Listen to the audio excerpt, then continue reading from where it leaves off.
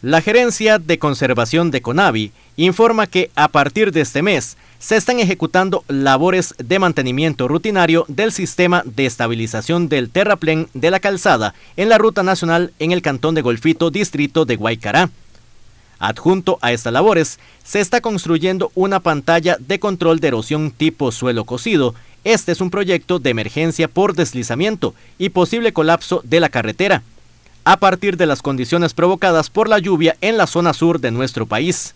Como resultado de la construcción de vías y carreteras, se generan a lo largo de ellas superficies expuestas en materiales del suelo y del subsuelo con pendientes fuertes e inicialmente desprovistas de cualquier tipo de vegetación.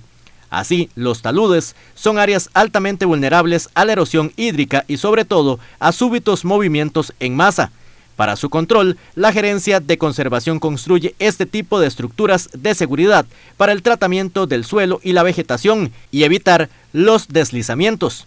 Estos trabajos son para brindar seguridad a los conductores y peatones que transitan por esta zona.